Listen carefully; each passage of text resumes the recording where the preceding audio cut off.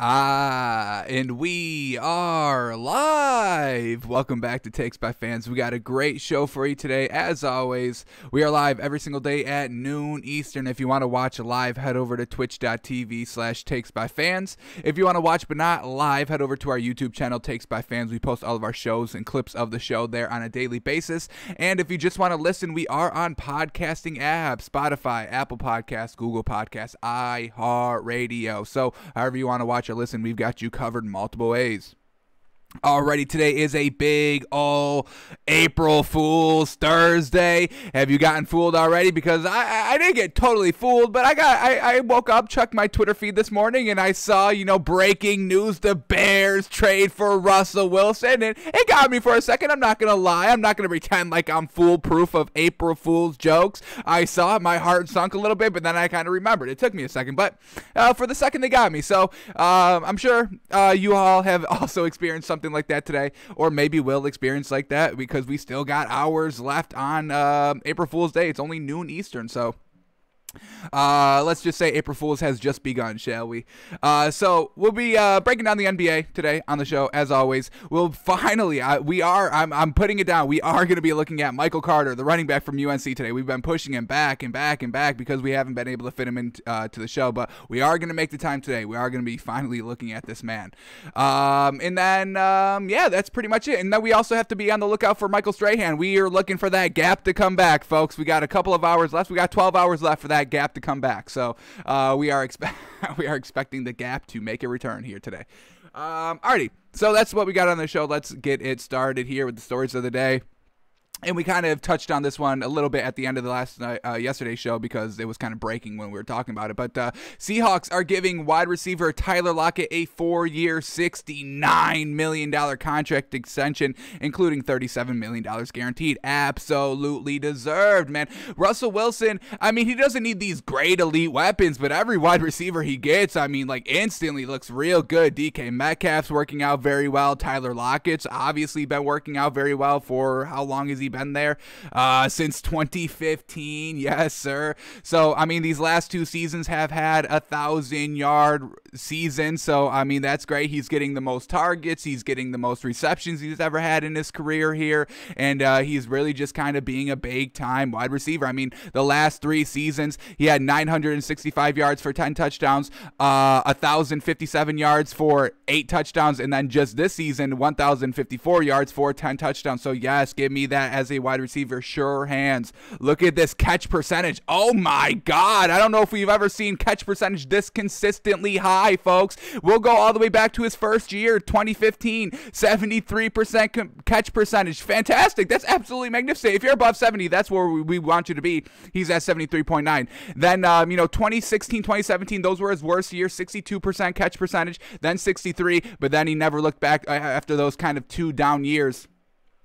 Uh, 2018, 81 catch percentage. Holy moly. Then 2019, 74 uh, catch percentage. And then just this year, 75% catch percentage. So, yes, man, sure hands. He can get wide open, no problem. And I mean, this could, this man could truly be a number one wide receiver on any team, but he doesn't have to be because he's got DK Metcalf. So, Tyler Lockett could theoretically be the number two wide receiver on your on this squad. And uh, you're going to have your second corner guard this Tyler Lockett man who's got sure hands. Come on. So, absolutely great extension here. I've got no problem. I've been seeing, oh, everybody's saying he's overpaid. No, he's not. You've got Russell Wilson. You need to make him happy. We've already seen him kind of starting talking out of line a little bit, which is a little unusual. We've never seen Russell Wilson criticize Pete Carroll or the organization or the Seattle franchise at all. But now he's got clout. He's like, yeah, I'm actually really freaking good. Pay me my respect, pay me my dues, or I'm going to start going after everybody's heads here. And, um, so I don't know if uh, him kind of, you know, talking about, you know, Pete Carroll and the Seattle organization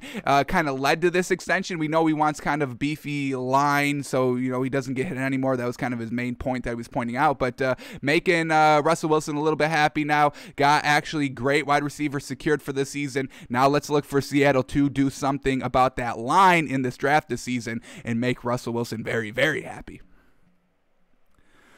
Alrighty, and man, oh man, I oh man, I I, I, I think I'm going to become a Bucks fan, folks. I think I'm going to be rooting for the Bucks next season. I just absolutely love it when everybody puts money aside and just wants to win and go after championships and wants to create something, create a long-lasting legacy, create a dynasty in this league to be forever cemented in the legacy. So in, you know, uh, 250 years where takes by fans is still on the air, but it's not me because I'm dead and somebody else has to take over. They're like, man, oh man, that Bucks team uh, 150 years ago was absolutely crazy, man. Uh, so that's what they're trying to build here in the Bucks because Leonard Fournette. This is why he he tells us why he chose the Bucks over all these other teams. Leonard Fournette chose Bucks reunion over quote more money elsewhere because quote this team kind of humbled me. I mean, Leonard Fournette was almost not quite out of this league. I mean, he he had that great season with the Jags, but then kind of you know his production kind of started to decline a little bit. The Bucks took a chance on him, really revitalized his career a little bit, got it done in the playoffs, got it done even better in the Super Bowl, and now this man's kind of back to RB one, almost behind you know Jones, Ronald Jones that they have. But I mean he stays here to build this uh, dynasty. We've been seeing all these re-signings by the Bucks. Obviously, Tom Brady, Gronk, the defense, uh, Ndamukong Suh, uh, Chris Godwin got tagged, but they're bringing everybody back because everybody's like, we want to win rings, man. We got Tom Brady. We got one of the greatest quarterbacks of all time who just literally switched from a 20-year team that he's been on to a new team and instantly won. I think I'm going to stick around for at least probably two more seasons, at least one more season. Let's go back to back, and then I can go hunt for money after this man's retired, and I don't have to worry about playing against this man anymore to because he's a roadblock of me getting a ring. So let me just team up with the roadblock, get my rings, and then when it's all over, I'll go get paid because now I got three rings. You don't think somebody's gonna overpay for a man that's got three rings and a lot of leadership? Hey, I play I play with Tom Brady. I can bring that experience to the team, but I'm gonna need 75 million right right quick. So um, I love it. I absolutely love it. Everybody's being unselfish here. Everybody just wants to win. Everybody just wants to get rings. And hey, you know. Eh, when you're playing pro sports, it's either about winning or the money. And hey, like I said, I, I don't know what I would do in that situation when I'm truly kind of faced with, hey, you could ever have an extra probably $25 million, or you can try to compete for a ring. I really don't know which one I would do. I, I I'm assuming it would take like I'm assuming, uh, you know, where I am currently in my career plays a lot into it. You know, if I've been in the league forever and I've never won a ring, but I've been decently paid, I think I'm going for the ring. Or if I just started out, I'm like, hey, let me get this money real quick, and then I'll worry about rings a little bit later. So I, it's just great that everybody just wants to play and just wants to win for this Bucks team. Bruce Arians is getting tatted up left and right now. Uh, Tom Brady is throwing Lombardi trophies over boats and stressing out Karens all over the world. And now we get Leonard Fournette back in action as well here. Love it. Alrighty, next up, and oh man, oh man, yes sir, Taylor Heinicke wants the competition, yes sir. So we all know Taylor Heinicke was kind of the number one quarterback in Washington this season, um, over Dwayne Haskins, obviously, and over Alex Smith, who they've gotten rid of now. Uh, but then they brought in Ryan Fitzpatrick, the career backup man that's got his own magic nickname, and you know making everybody not want to play Tua, getting all the Dolphins fans crazed up. So now he's in Washington, and Taylor, Taylor Heinicke, he's about the competition. So here we go. Quote by Taylor Heinicke. Taylor Heinicke on competition with Ryan Fitzpatrick. Quote, it's going to be a fun battle. Yes, sir. I love that. Taylor Heinicke not shying away, not being like, oh, you know, I was here last season and I did good, so I should just automatically be the starter. This man wants the competition. Wasn't he in like the AFL? That's how he got noticed, and then he got brought up to Washington and almost beat Tom Brady. I don't think we speak enough about that. This man almost had to had beat Tom Brady almost uh, in the first round of the playoffs. Brought it to um, the last drive in the fourth quarter, just couldn't finish, and you know that's fine. Taylor Heinicke, brand new in this league. I can cut him a little bit of slack losing against one of the greatest of all times. Um, so absolutely magnificent. I truly want Taylor Heinicke to win the competition. I love Ryan Fitzpatrick. Don't get me wrong. I mean, I I I can't thank him enough for what he did for the Dolphins this season and kind of you know some great wins. Uh, also some bad losses that we sweep under the rug. A lot of interceptions that we sweep under the rug because he won us some games. So let's praise the man a little bit. Um, but Taylor Heinicke and Ryan Fitzpatrick. Ryan Fitzpatrick, he's been here in the league, so I I, I hope Ron Rivera doesn't kind of you know get blinded by that a little bit too much because I do still think Taylor Heinicke is the right solution here in Washington, at least for this season. You know, if they want to draft a quarterback and kind of have him kind of just back up and learn for a year, that's fine. Or maybe go after a quarterback hard next year in the draft, that's fine as well. But I definitely want to see Tyler Taylor Heinicke get his true shot, one true chance, not last season where you know he uh, he didn't start. I think. Dwayne Haskins started. Dwayne Haskins started, then he was trash, and then they brought in Taylor Heinicke, but then Alex Smith was good to go, so they put in Alex Smith, and then he wasn't really getting it done. So they're like, all right, we'll try to Dwayne Haskins again, and they're like, no, no, no, no, no, no, no, we're not doing that again after one series on the field. And then they bring in Taylor Heinicke, and he was like, all right, we got to work with this man. This man's doing good, being solid, winning us games, so we can't be mad at the man. So truly want this man to get his full shot here, going against Ryan Fitzpatrick. It's going to be tough because this man's obviously been in the league uh, forever as a backup and has made a career as a backup, and that's not a knock. I mean, to be a one of the greatest backups of all time, that's pretty dang good. Um, so just want to have a fair competition here, and I'm I'm rooting for Heinicke in this one. Obviously, you know Ryan Fitzpatrick should be the backup, no doubt, but uh, I want to see this man get his shot, and let's see what this man can do. Alrighty, we've been following this man for basically ever since, you know, we've been talking about the draft because this man's going to be absolutely fantastic. And now he's even believing in himself. So you get a great specimen athletic wise. We just saw him break the record for the wingspan that DK Metcalf just held. And this man's a tight end. We just saw this man run a 4 4 40. Absolutely wild. And we all know what he can do on the field because we've been watching this man from Florida. I mean, he's going to be the best wide receiving tight end possibly ever to play the game. And he even believes in himself here. So ahead of 2021 NFL Draft tight end Kyle Pitts foresees greatness. Quote, I feel like I can be the best to ever do it. I mean, woo, this man's got great goals, man. He wants to be the greatest of all time. He wants to be the best tight end of all time. And I mean, you know, the competition that he's going against, you know, his first year in the league, Travis Kelce, George Kittle, uh, Darren Waller, who's basically, you know, Kyle Pitts before Kyle Pitts. But Kyle Pitts has got a little, he's kind of building on what Darren Waller is. He's got the better wingspan. I think he runs a little bit quicker quicker than Darren Foles, Darren uh, Foles does. Uh, but yeah, Kyle Pitts going to be absolutely magnificent here. I mean, he's got all the tangibles. We've seen him play. He's got great hands. He's, uh, I, I, I don't know. I, I think I'm going to be afraid if he doesn't go to the Dolphins because I don't want to have to face this man ever. I don't want to have to th- watch this man not be on my team. That's how great this man's going to be. And he's even believing in himself and he's got high goals. So, man, oh man, watch out for Kyle Pitts, man. I know it's going to be tough to kind of draft a tight and high up in that draft. So we'll see where he goes. But whoever gets this man, you got to watch out for this team. Honestly, it's going to get it's going to get nuts. It's uh, let's just say that whatever whatever team Kyle Pitts gets on, their offense is going to be absolutely nuts. It's going to be almost unguardable at this point. Uh, so I don't know, man. I don't know how you're going to stop Kyle Pitts, but mm, he's not going to stop. He's not going to stop. The man wants to be the goaded. So.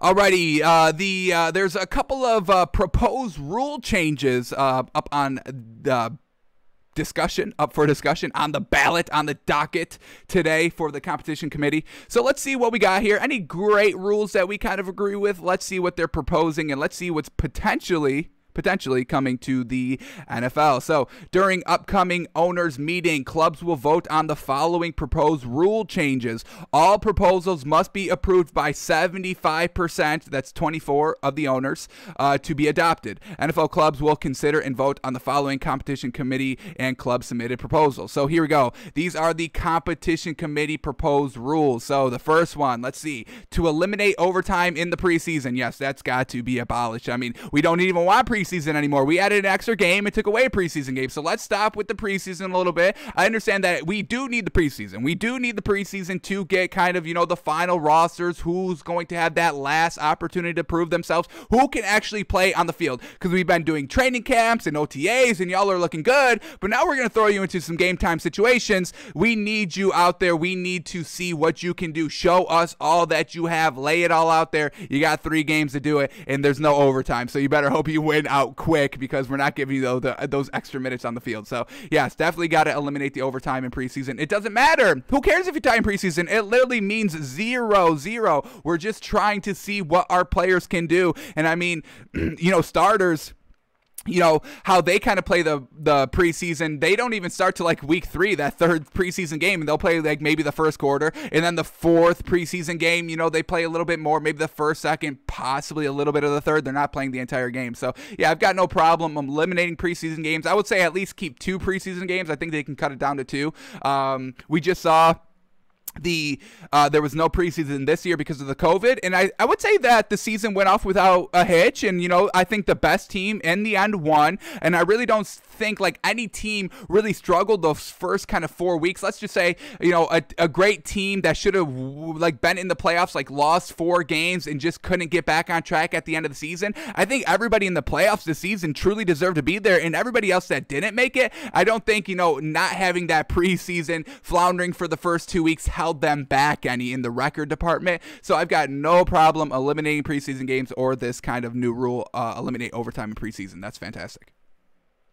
Alrighty, rule number two by the competition committee. Here we go. For one year only to establish a maximum number of players in the setup zone. Mm, okay. I mean, one year experiments. I, I'm not a big fan of them. We just had the one with the replay review, just because it, it, it puts a, it doesn't put a like a, uh, an uh, like an asterisk next to that season meaning like it shouldn't count. But it does kind of you know have to you know when we're looking back at players and what they're actually do like if they had great in that 2019 season because of that pass interference replay rule but then they struggle every time else i mean it could get buried of why some teams are good and why some players are good and maybe why some players had some inflated seasons. Uh, so i'm not a big fan of like let's try this out for one year. Not a big fan of that um, but to establish the maximum numbers number of players in a setup zone. I don't even know what that means, honestly. I think that's got to be something about um, um, kickoff. Interesting free kick formation, yeah, that's what it's about. So um, I, I, I don't care about that. Um, whatever, do that. I don't care. I don't care about the kickoff. It's always a touchback. That's what they want to do. So let them do it. Okay, here we go. Rule number three: to expand the prohibition of blocking below the waist by offensive and defensive players on scrimmage downs when contact occurs beyond five yards on either side of the line of scrimmage and more than two yards outside of the either tackle box. So to expand ban the prohibition of blocking below the waist. I mean, just trying to make the game a little bit safer there. No more chop blocks, you know, going at the knees. No, no, no. So, yeah, I've got no problem with that if they want to do that. Just expanding it further. Every way of the field, up, down, left, right. Uh, so that's fine. And then the last rule uh, submitted here. Um, here we go. By competition committee coaches and Baltimore to amend Rule 15, Section 3, Article 9, and Rule 19, Section 2, 2 permit the replay official and designated members of the officiating department to provide certain objective information to the on field officials. To provide certain objective information. So the replay's got some information, some objective information that they want to relay to on field officials. Alrighty. Now, this is, I don't really truly know how I feel about this. I feel like I want like I want all the I want all the calls to be fair and go both ways. Uh, it's hard to do that with player with coaches on the field. That's why you know they've kind of been having this big old replay center, one replay center where everybody's in here, all the kind of the replay officials in this kind of one centralized location, looking at everything going on. I think that's going to be a little bit more towards what the NFL is going to go to. I mean, we're talking years down the road, I think, uh, but just having kind of like uh, you know, Sky sky referees, you know, centralized referees that can just see all the games and see everything, all the viewpoints from kind of a um, a backed up point of view, an overhead point of view. So it's tough, you know. Do we leave them all on the field, or do we kind of have, you know, we've got what they're seeing on the field, but then we've also got, you know, kind of this other centralized, um, unobjective observer from all this other place, you know, communicating back and forth. This is what we saw, but that's what we saw over here, but this is what we saw on the field. Which one, you know, has the final rule? So I think that's where it can get a little muddy when you've got two different things just kind of relaying information. Who's going to have that final judgment call? So um, I don't even know what this rule is going to be all about to permit rule officials. I don't know, understand what the objective information that they're going to be cross referencing with each other. I don't understand what that's going to be. Uh, so I guess we'll stay away from commenting any further on this rule. I don't know. um, all right, let's go to these club playing rule proposals. So these are by teams what they want to kind of propose to the NFL. So hopefully these are a little bit more we can talk about a little bit more in depth here. So here we go. Uh, seven rules here. The first one by Chicago to ensure the enforcement of all accepted penalties committed by either team during successive try attempts. So okay, on a field goal try, having all accepted penalties committed by either team during successive tries, so not no any cancellation like that. Uh, so maybe you know you get an offsides, but then you get roughing the kicker. So you know it's five yards for offsides, 15 yards for roughing the kicker, and then that's a 10 yard penalty. Is that what they're trying to get? Um, um, we, uh, you know, obviously, you know, if there's more than one penalty by either team, they all offset. So it seems like Chicago wants to erase that for kicking tries, field goal tries, all that. Um, uh, it doesn't seem that bad. It doesn't seem game breaking. So yeah, I don't care. You know, implement the rule. I don't think that would be detrimental to the game. I don't even think it would be used that much either.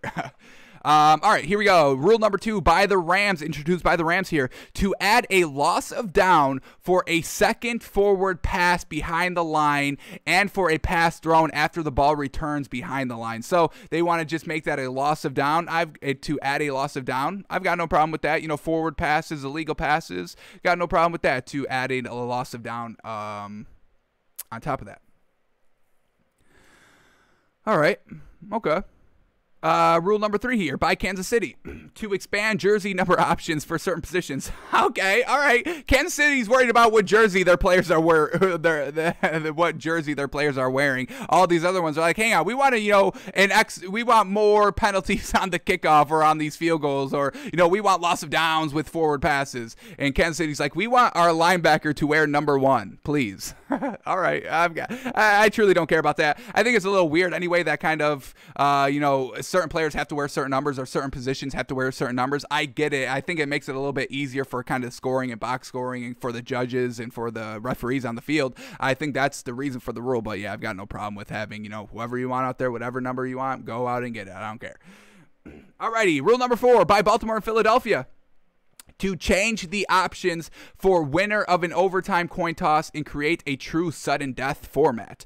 Um, so that's I think this is the rule they're talking about here. Ravens are proposing a spot and choose format for overtime. So this is how it works. One team would pick the spot of the ball, which yard line, eh, uh, for the start of OT. Then the other team would decide based on that spot whether they want to play offense or defense. So the coin toss is tossed. Somebody calls heads. It's heads. They win the coin toss, so they can be like like, all right, we want to place the ball on the 50 yard line and then the other team was like, all right, we'll take the offense on the 50, or we'll take the defense trying, you know, uh, trying to stop them on the 50 yard line for scoring potential. So that's definitely interesting. Kind of, you know, this is kind of like um, the game where, hey, uh, uh, you know, I can guess the song in four notes. No, I can guess it in three notes. So you're kind of, you know, betting on yourself a little bit. We're going to start, I want the ball on the five yard line because I want my offense. I trust my offense on there. And the other team's going to be like, all right, we're putting our defense. You want to start on the five yard line? Okay, do that. So it's gonna that's kind of interesting. I'm I'm definitely down with that concept. Um, definitely making the overtime a little bit more something better than what it is. You know, just kind of more football. You know, an extra well, I think it's like 12 or 10 minutes uh, time. Um, so definitely got to do something with overtime. I think it's definitely lackluster of where it is right now.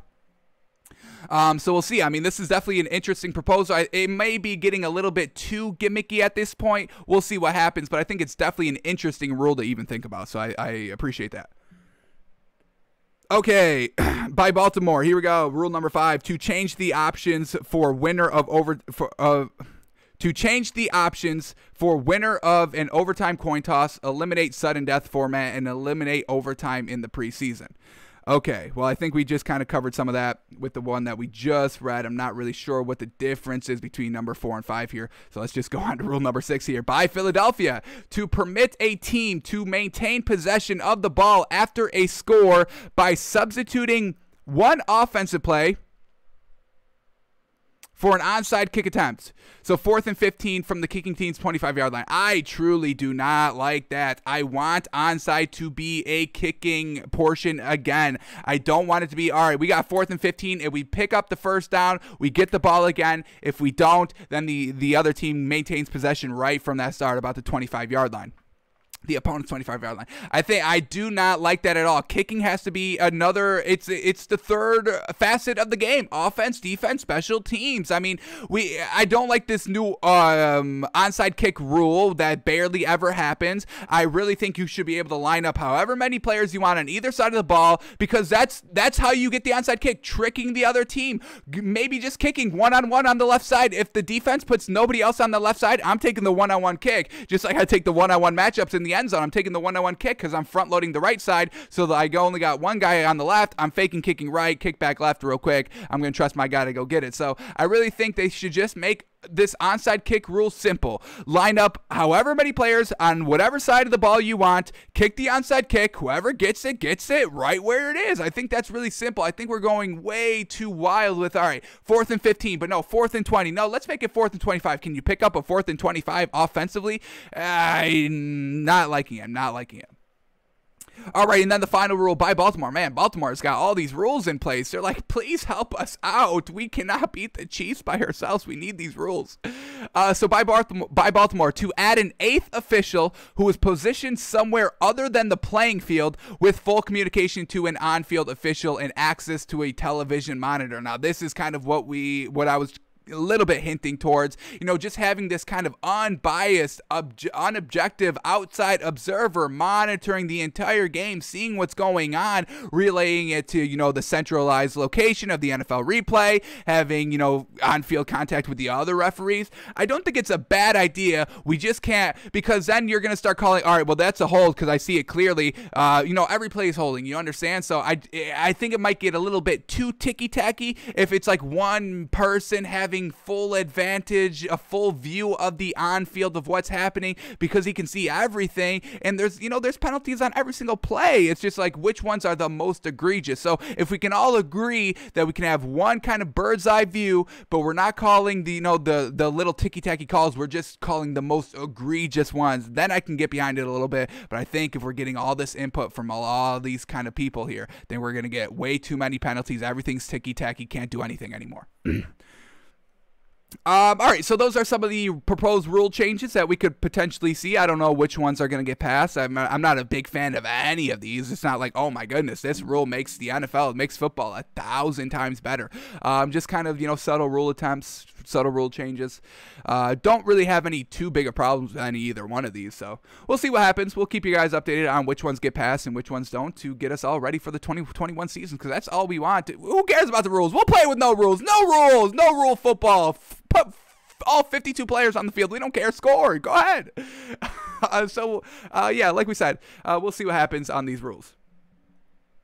Alrighty, let's move on. Okay, Adam Schefter, a little tweet out here. Do the Jets ticket department know something others don't? Question mark. All right, so here we go. On the Jets um, kind of season ticket holder kind of portion of the website, they got Sam Darnold out right front and center, right in your face. Hey, Come, come, come to the Jets Stadium this season because you're going to see Sammy D in action, baby. Um, so a little interesting here. We've been kind of hearing about a little rumors that the Jets are going to be drafting a quarterback at number two. They've got their pick of the crop. I mean, besides Trevor Lawrence, they can choose whoever quarterback they want, or do they stick with Sam Darnold? So that's kind of what we are unknown about. Or maybe the 49ers also know because this could also kind of back up what the 49ers just did. Why would the 49ers kind of jump in the draft so high and sell out first round picks in the next couple of years of drafts if they know that the Jets are going to draft a quarterback. So I think I'm ready to kind of solidify that the Jets are going to stick with Sam Darnold, have Robert Saleh have a kind of he's not a veteran quarterback, but you know, he's not a rookie. He's not his first year in. This is going to be his fourth season, fourth season, third or fourth season playing. So yeah, I mean, you don't really want a new rookie quarterback with a new rookie head coach that's never been a head coach any uh, before. So I think I think the Jets are going to stick with Sam Darnold here. Um, just kind of based on uh, what the 49ers did and having Robert Saleh. I'm not putting too much weight on this kind of uh, ticket uh, website here for the Jets, just because we just saw the Seahawks send out their um, season ticket holder letter and their kind of brochure, the get it, the hype package, we'll call it, uh, to the season ticket holders, and they didn't include Russell Wilson. And we're all pretty much sure by now that Russell Wilson is going to stay a Seahawk. So I don't think this ticket page has too much kind of weight in whether Sam Darnold is there or not. But I think with the 49ers moving up to number three, they kind of understand that the Jets are not taking quarterback. And from the from the aspect of they have a rookie head coach in Robert Saleh, let's get them a veteran kind of quarterback that can, you know, no, help them out, help each other learn, help each other grow, help each other at the quarterback and head coach position, just kind of be solid for this year.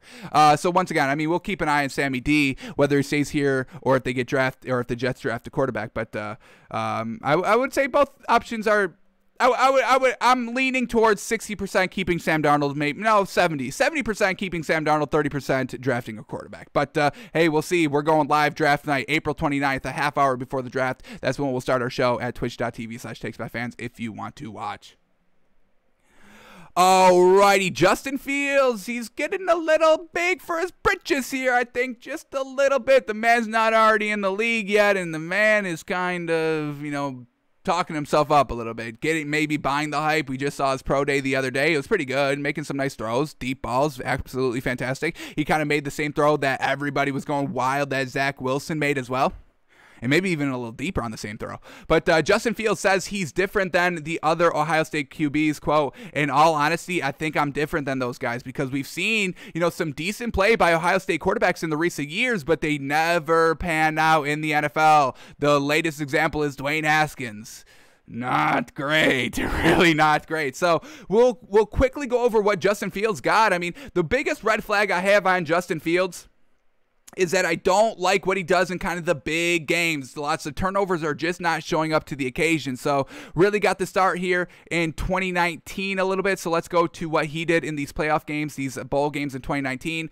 Uh, first bowl game against Wisconsin, he plays well. You know, three touchdowns, 299 yards, and they get the win. But then they move on to Clemson in 2019, and he flounders, you know, two interceptions, you know, turning the ball over, and then they lose. And it was a one score game. When did did that second interception come? Was it on a potentially game winning drive?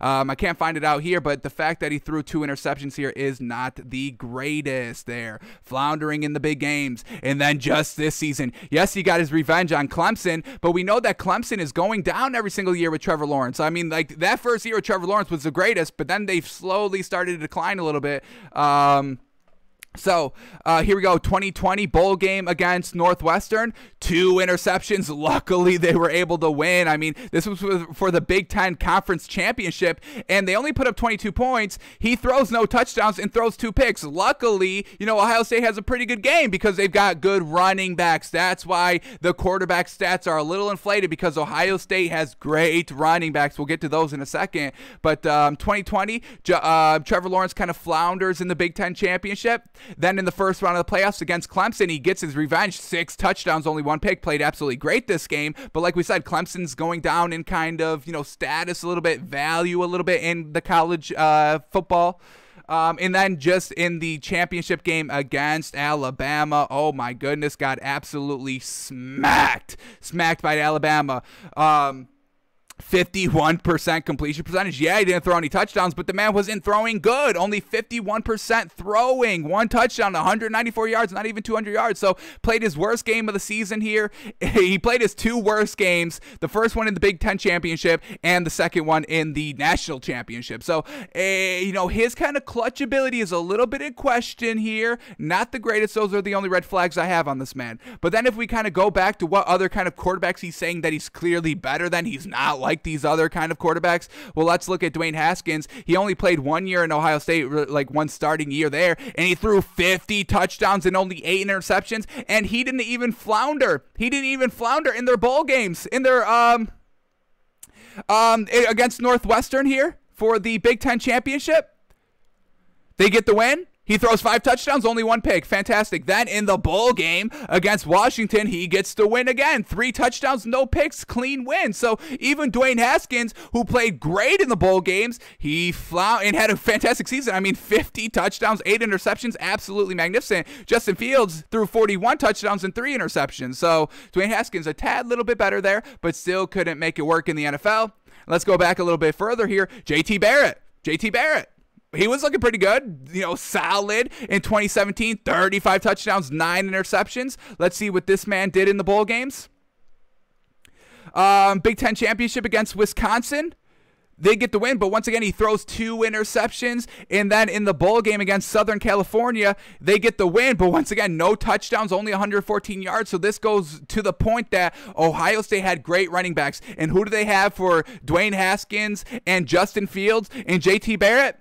That J.K. Dobbins, who's making a, a, year one impact, a rookie impact on the Ravens. Come on. So, this Ohio State franchise here, this Ohio State school, it always kind of depends on the running back a little bit. We can you know, um, even go back to um, Cardale Jones here when uh, I believe uh, he had Ezekiel Elliott in 2015. And Ohio State was pretty good in 2015, uh, but Cardale Jones wasn't that great. He wasn't the factor here, starting quarterback, only 1,400 yards, eight touchdowns, five interceptions. Absolutely not good. Let's see if they won the bowl games in 2015, thanks to the running backs. Um, did they not even get to a bowl game in 2015? What do they got here? He didn't even play in the bowl game in 2015. That's how good this man was not. um,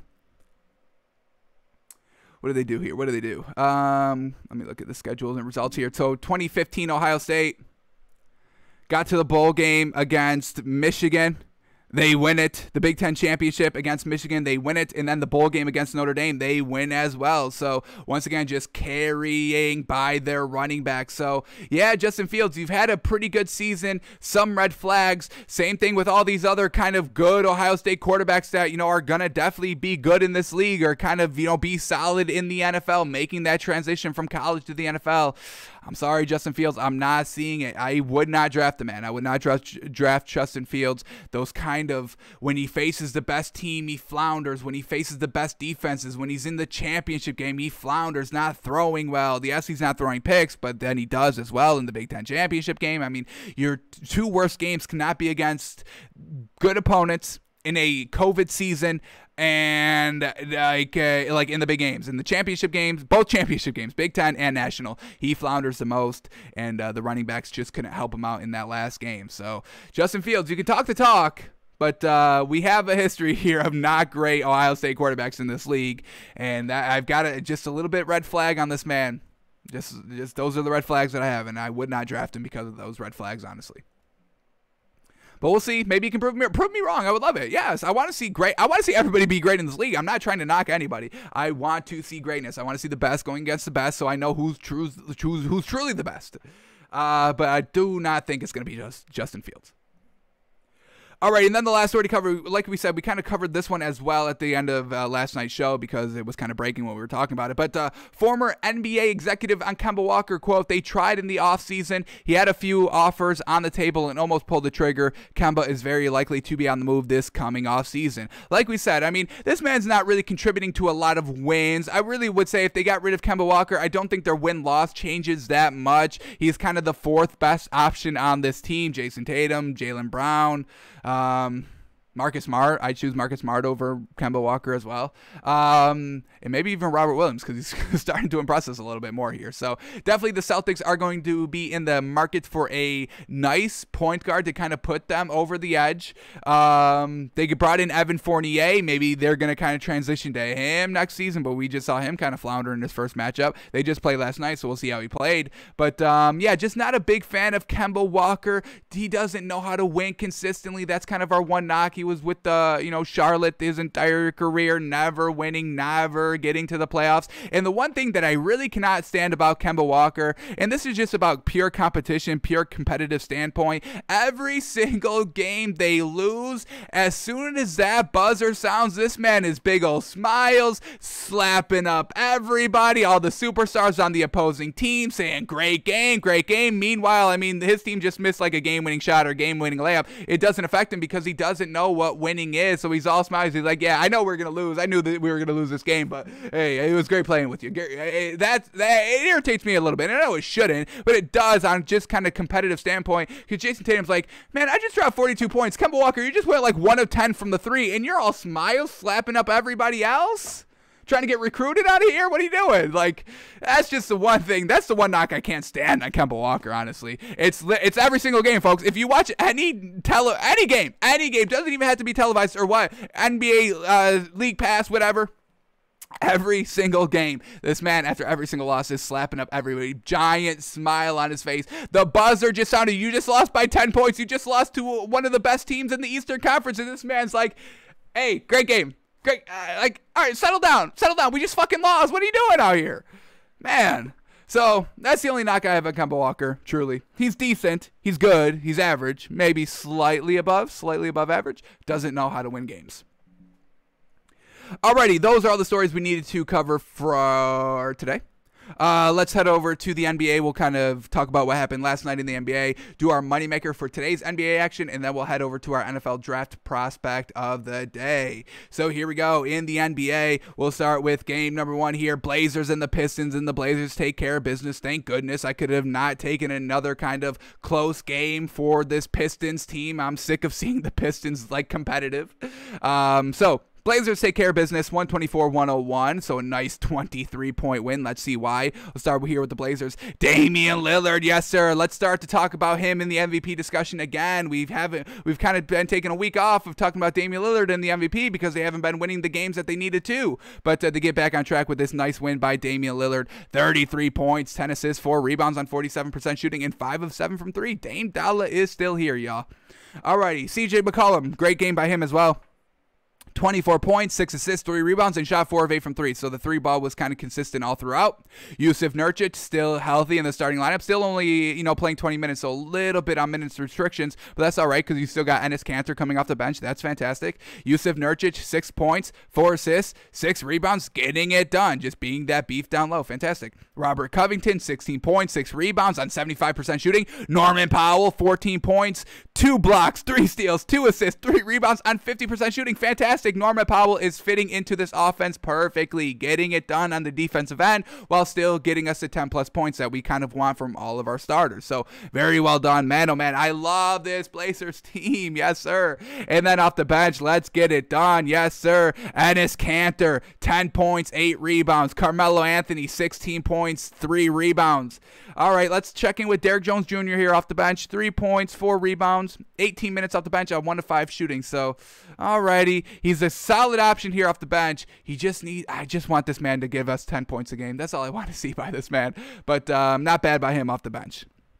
So everything is perfect here for the Blazers. Love this team, top down, starters, bench, absolutely fantastic.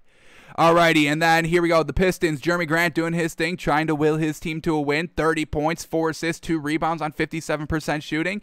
Um, we've got, oh my goodness, we got two starters with 0 points. Saddiq Bey, 0 points on 0 of 8 shooting? Come on, man. Gotta be way better than that. Way better. Josh Jackson, 0 points on 0 of 5 shooting. And then we get Saben Lee, the starting point guard, 2 points on 1 of 4 shooting. So we've got three players in the starting rotation with only two points combined. And that is not good at all. Now, they did get some solid uh, contribution off the bench because how can you not with, you know, three players putting up basically zero points.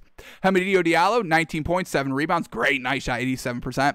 And uh, we get uh, Cory Joseph, 11 points, nine assists on 50% shooting. So, man, oh man, got to get some of these starters out of this lineup here. This Pistons team, we all know they're not good, and that's why. That's exactly why. We just read it off. Trash. Trash in that starting lineup.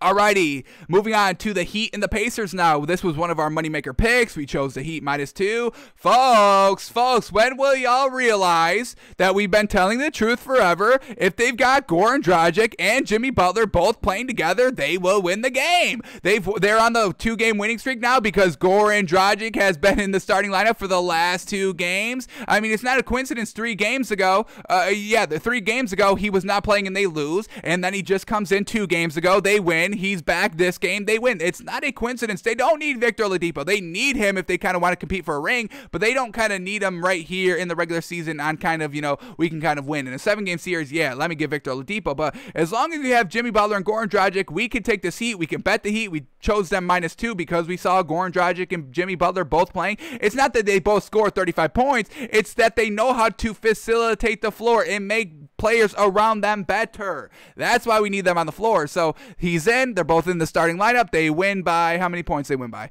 uh, five minus two. Perfect. Bingo, bango. No problem. So the Heat stay on track. Nice two game winning streak uh, brewing. Goran Dragic, 12 points, 2 assists, 3 rebounds. It's just his presence on the floor, folks. It's, that's all it is. It's not any of his really production. We know he can go for, you know, 20, 25 plus points a night. We know he's got that ability, but it's just his presence on the floor, a nice veteran leadership presence. It matters. All right, Duncan Robinson had a great game, and we don't say that too often. 20 points, 4 assists, 8 rebounds on 6 of 11 from 3, and I'm giving all the credit to Goran Dragic. I don't care. Duncan Robinson is not consistent, but Goran Dragic is, and he makes other players better. Alrighty, Bam Adebayo, 16 points, 7 assists, 8 rebounds. Great night by him. I mean, we all know this man can play. Jimmy Butler, 18 points, 4 assists, 5 rebounds. And we still see Trevor Ariza here at the 3, Jimmy Butler at the 4. Uh, Trevor Ariza, not a great night. 2 points on 1 of 7 shooting and only 3 rebounds and a uh, minus 1 on the floor in a win. So not truly great there. Um, alrighty, but then off the bench, Tyler Herro goes for 17 points and 2 assists and 3 rebounds just enough to get the win over this Pacers team. Alrighty, let's talk about the Pacers now. Once again, losing losing against a kind of above average average team here, classic Pacers. Once again, folks, I don't think we've taken the Pacers to win a game ever this season. I don't think we bet the Pacers at all this season. And I'm definitely glad we don't because man, oh man, this is not a solid consistent team at all. Alrighty, here we go. Malcolm Brogdon, seven points, seven rebounds on 16% shooting. Not great. Caris LeVert still struggling a little bit. 14 points, six assists. He had four steals, absolutely fantastic. But uh, or four, 0 of four from three, only 14 points. He's got to be, you know, kind of the second leading scorer on this team. We got to see Domantas Sabonis do his thing and Caris LeVert also do his thing. Um, so until we start seeing that, we can't take this Pacers team too seriously. Miles Turner, 15 points, 6 rebounds, 3 blocks. Great night by him. Domantas Sabonis, 9 points, 14 rebounds. He was a minus 11 on the floor the the biggest minus on the floor for his team. Not good at all. And Justin Holiday, five points, two steals, two assists on 18% shooting. So very, very poor shooting night here for this Pacers team. This is kind of why we don't like the Pacers. That's why we thought Caris LeVert would probably help the Pacers out because he's usually a decent scorer, but he hasn't really been doing anything consistently here for this Pacers team. And then just to finish off this Pacers team off the bench, we get TJ McConnell, 11 points, 5 assists, 7 rebounds, and Doug McDermott, 14 points and 3 rebounds off the bench. Not bad. He shot 83% too, so get it done, Dougie. Um, alrighty, so Pacers, can't buy them. That is not changing. Alrighty, moving on to Mavericks and the Celtics in another game in our moneymaker. Mavericks plus one. They win outright. We can't trust this Celtics team just quite yet, folks. Still.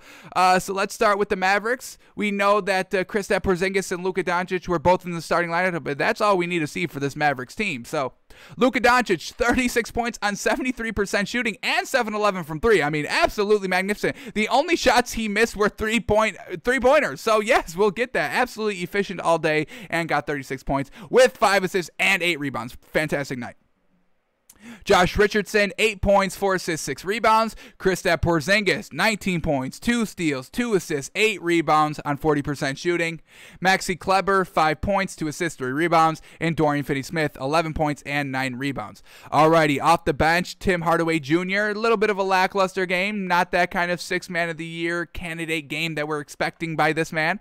7 points on uh, 1 of 6 from 3, 30% overall. But Jalen Brunson off the bench, look at this man, get it done. 21 points on 80% percent shooting, five rebounds, three assists, and able to get the win basically because of that great bench performance by that man. So Luka gets it done, Kristaps Porzingis gets it done, and they just needed that third, and they got it with Jalen Brunson. So good overall game here by the Mavericks. Now let's go to the Celtics. All righty, we got a change in the starting lineup, folks. Grant Williams. Um, or Robert Williams did not play. Uh, so Moritz Wagner gets the starting center start here. We saw, you know, newly acquired here, Moritz Wagner. Evan Fournier still coming off the bench. So this is the lineup that the Celtics were rocking with this game. Kemba at the one, Marcus Smart at the two, Jaylen Brown at the three, Jayson Tatum at the four, Moritz Wagner at the five. All right, so here we go. Kemba Walker, 22 points, six assists, five rebounds on, once again, not great shooting. 36% from the field, two of nine from three. He took the second most threes in the game. I don't want that. I want Jaylen Brown and Jayson Tatum to take all the threes. I don't want anybody else shooting the three. Maybe Marcus Smart in the first quarter because besides the first quarter, the man cannot hit a three to save his life. Uh, basically, JJ Redick can't hit a three if he's not coming off of a, uh, an on-ball screen. It just doesn't work. Um, alrighty, so Kemba Walker, 22 points on two of nine from three, not great. Uh, Marcus Smart, 17 points, seven assists, five rebounds, two steals. He also shot two of seven from three, not the greatest. Uh, Moritz Wagner, not the greatest here. Only started 15 minutes, but two points, four rebounds. Jayson Tatum, 25 points, nine rebounds, three assists. He was a minus 19 on the floor. Man, oh man.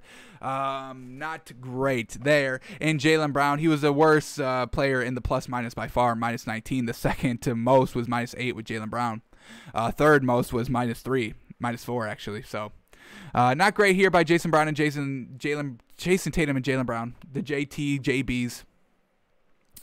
Um, Jaylen Brown, 24 points, four steals. Holy moly. One assist, four rebounds. He shot four of 11 from three. Jayson Tatum shot one of eight from three. Just not consistent here. All right, so that's the starters. Nothing, I mean, they did have three players in 20 plus point category, which is fantastic. That's what you want. So I guess we'll give it up for them. They just weren't efficient on their shooting, as classified as that.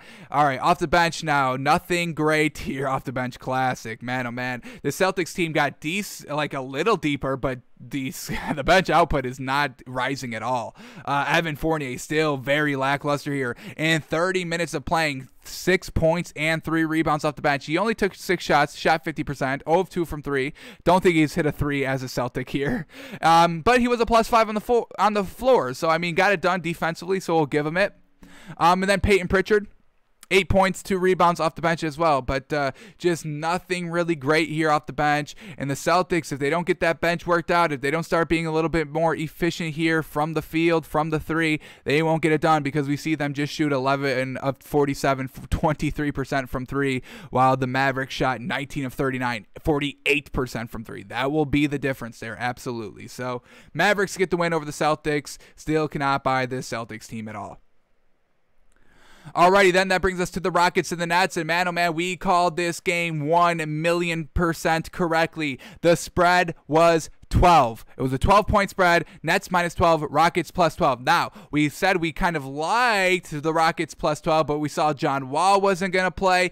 And what do we know about these two teams? The Rockets, ever since, you know, Christian Wood has came back to the starting lineup, ever since kind of John Wall is kind of been playing a little bit consistently, even though he didn't play last night. Um, ever since, you know, uh, we'll call it classified as a trade deadline, because ever since they kind of lost Victor Oladipo, they've kind of been like, all right, we know what we are now. I think Victor Oladipo kind of held this team back just a little bit. Um, but what do we know about this Rockets team ever since the All Star break? They are good, except in the fourth quarter. They blow it in the fourth quarter. And what do we know about this Nets team? They're good. They'll build up leads, but they'll lose it in the fourth quarter. But then, you know, five, four, three minutes left in the fourth quarter, they'll close out the game. They got great closers, but they do kind of flounder in the fourth quarter a little bit. So, 12 point spread. Both teams not really great in the fourth quarter. Um, and that's exactly what happened in this game. Rockets were leading literally the entire game. They were getting it done. Then the fourth quarter, they blew the lead. And when did the Nets start? When did the Nets officially take over the lead? Four minutes and 40 seconds left in the fourth quarter. So they finally got it done in the final four minutes of the game. Rockets blow it in the fourth quarter. Nets win by 12. The spread was 12. We told y'all to stay away from it because it was no great value. Would have been a push push, or if I think it closed at 12.5, 12 and a half points. So however you got it, maybe you won by half a point, but still no real great value there. Had to wait for that squeeze out there. So really no great value here. We cannot trust these teams in the fourth quarter, so we had to stay away from it, and it pans out exactly how we said it would. Um, so here we go. Nets win 120 to 108 over the Rockets. So let's start here with the Nets. James Harden unfortunately had to leave uh, late third quarter, so he did not play in the fourth quarter, but they still get the win. So very well done for this team closing out without James Harden. Fantastic. Uh, James Harden, 17 points, 6 assists, 8 rebounds. Kyrie Irving, 31 points, 12 assists, 6 rebounds, 3 of 8 from 3, 48% overall. Not terrible there, and he was able to kind of close out the game as well. So very well done to Kyrie Irving. DeAndre Jordan, 2 points, 1 rebound. He only played 11 minutes.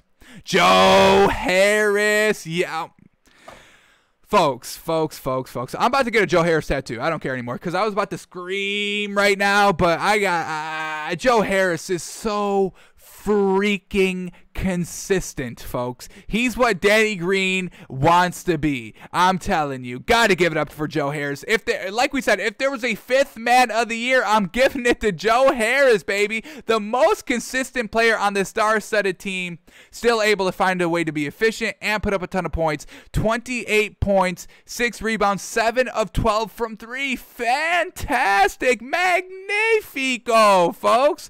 Joe Harris Love that man. Yes, sir. He's going to be the reason why this Nets team wins the championship. It's not going to be KD. It's not going to be Irving. It's going to be a little bit Harden, but it's going to be mostly the consistency, the clutch ability, the consistency again because it's so consistent. It's so consistent. You got to say it twice because it's so consistent. It's consistently consistent, folks. Do y'all not know this man, Joe Harris?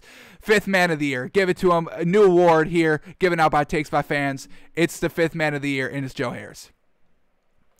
Alrighty, then Bruce Brown, 10 points, 6 rebounds on 33% shooting. So the starters all do pretty dang good here. And then the bench, folks, we know they're deep. Blake Griffin's getting into it. I mean, he was hitting some clutch threes in the fourth quarter. I mean, he couldn't, you know, be efficient from the three with Detroit, but I guess it was all a ploy. He played the long game, so I got to respect Blake Griffin for, for pulling the long con there. 11 points by Blake Griffin off the bench. Two steals, one block, four assists, six rebounds on 80% shooting, two of three from three. Magnificent, man. Uh, uh, he was a plus 23 on the floor as well, so huge, great defense by that man as well.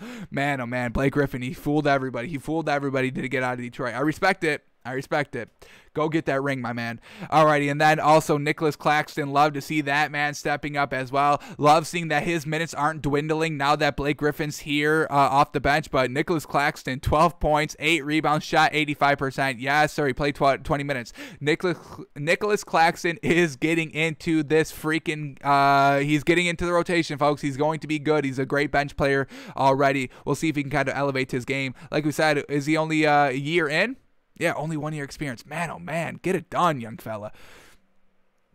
Alrighty, so the Nets get it done. Everybody gets it done. Everybody freaking gets it done. Too good out here. this team is too freaking good.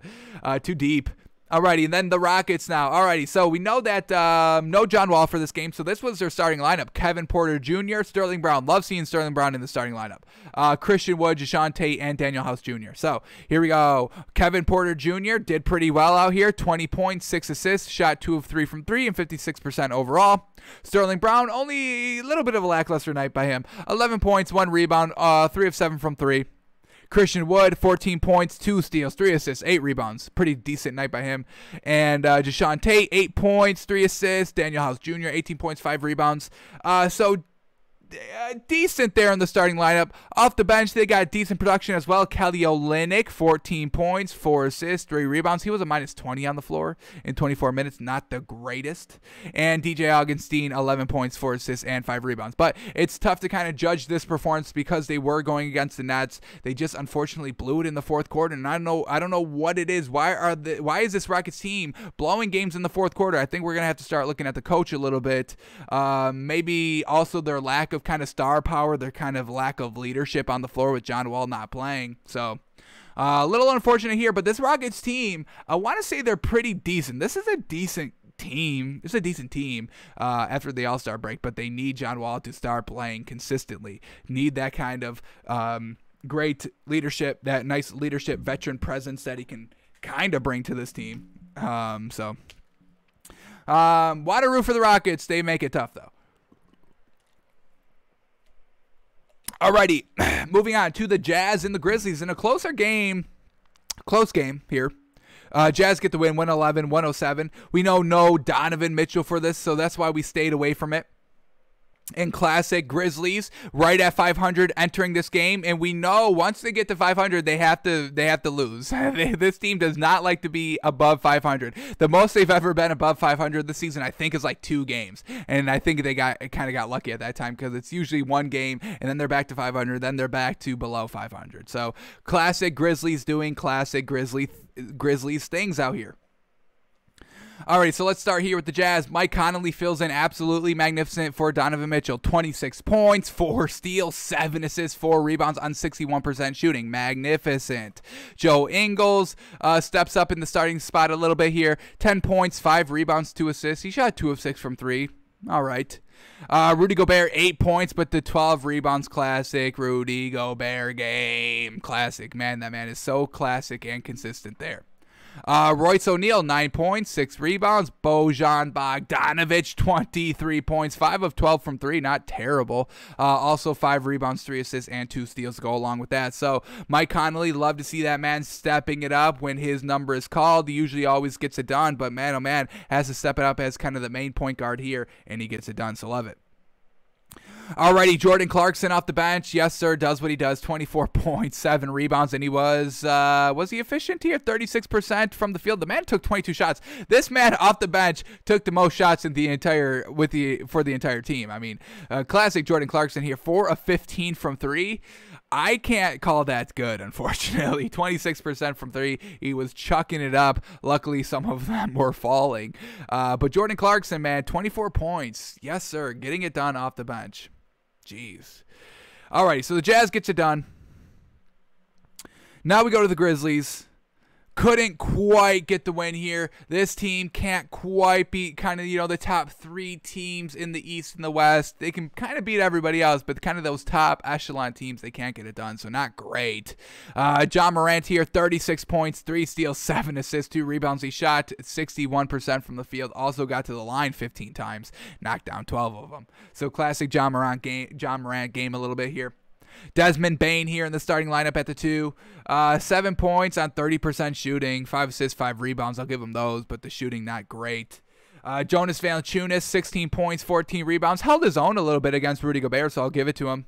Kyle Anderson, 18 points, 11 rebounds, and Dillon Brooks, 17 points, 3 steals, 1 assist, 1 rebound. So overall kind of a classic game here by this grizzlies team. Just unfortunately they they have no real great bench. They don't have anybody that they can kind of really turn to. They don't have that jordan clarkson off the bench. They do not have that. I mean we got de'anthony melton five points on 33% shooting off the bench. Xavier tillman two points on 33% shooting off the bench. Tyus jones two points on 25% shooting off the bench. And uh, Killian Tillie four points on 50% shooting off the bench. So they got really no great scoring output off the bench, and that's what we know about the Grizzlies. They need to get it all done with the starters, but they can't. they just can't. So, uh, truly unfortunate that they didn't make a big old trade at the trade deadline because I think it's going to be kind of like last season. Yeah, you might get the eighth seed in the bubble, but mm, you're going to be first round exit. So, nothing truly great here by this Grizzlies team. Alrighty, moving on to the Knicks and the Timberwolves. And man, oh man, the one the the night that we finally believe in the Knicks, they lose against the Timberwolves. Man, oh man, this was uh, one of the moneymaker picks that we did not hit. Knicks minus three and a half. They lose the game by one. What is that? Come on, Knicks. Why did they lose? Let's start here with the Knicks. We got to find out why they lost this game. Uh, well, we kind of know. Um, Malik Beasley for the Timberwolves hit an absolute clutch three pointer with 37 seconds left in the game to go up one. And then RJ Barrett for the Knicks to kind of win the game. Mid range jumper as time expires does not drop. So, little unfortunate there. No clutch gene on this Knicks team, unfortunately. But here we go. Let's start here with the Knicks. Julius Randle, 26 points, 6 assists, and 12 rebounds. Not bad from him. Shot 55% into a 5 from 3. Elfrid Payton, 17 points, 2 steals, 3 assists, 5 rebounds. RJ Barrett, 23 points, 2 assists, 3 rebounds. Uh, Nerlens Noel is really not the greatest out here. Doesn't really do anything for the scoring output, but he's got decent defense, I guess. But definitely need a little bit of a scoring center out here for the Knicks, and they don't have that. So Nerlens Noel, 2 points, 3 rebounds. He was a plus 1 in 23 minutes, so I'll give him that. But we need some scoring production because he was the only one that was really lackluster here for the starters. Uh, Reggie Bullock put up 10 points and four rebounds and three assists and two steals to round out the starters. So the starters kind of all got it done. So that means it's probably the bench here. So, like we say, the Knicks need the starters and the bench all having collective great games or they won't win. And we just saw right here. But off the bench, only person that stepped up was Alec Burks, 13 points and three rebounds. Taj Gibson had seven points. He also had eight rebounds, so shout out to Taj Gibson. Um, but then Immanuel Quickley zero points. Obi Toppin, only three points. And we see Derrick Jones or Derrick Rose did not play this game. So no real great production here off the bench, or no real great deep production, I guess we should say. So. Uh, a little unfortunate here by the Knicks, man. We cannot trust this team. They've got a nice storyline. They've got a nice story, but um, they're not gonna. They'll they'll be first round exits. I'm ready to call it. I think we've seen enough by this Knicks team. We bought the hype for about a week, and we and rightfully so. We were winning on our bets on the Knicks. We were uh, looking at the Knicks. We were breaking down the Knicks uh, for that kind of weak stretch that they were good. But mm, I'm ready to call them bad again. I'm ready to call them bad. Um, all right, the Timberwolves here. I mean, uh, uh this was a close game, so I guess I'm banging on the Knicks a little bit too hard here. But man, you can't lose to the Timberwolves. You just can't. You can't. They're the worst team in the league. Um, all righty, here we go. Karl-Anthony Towns, 18 points, 17 rebounds, six assists. Fantastic. Anthony Edwards had another good game here 24 points, three steals, three blocks, three assists, two rebounds. So he was getting it done literally in every facet of the game. And it shows here in the plus minus a plus 14, the best plus on his team. I think the only plus, the, the best plus in the entire game. So great work by Anthony Edwards on the defensive end on the floor.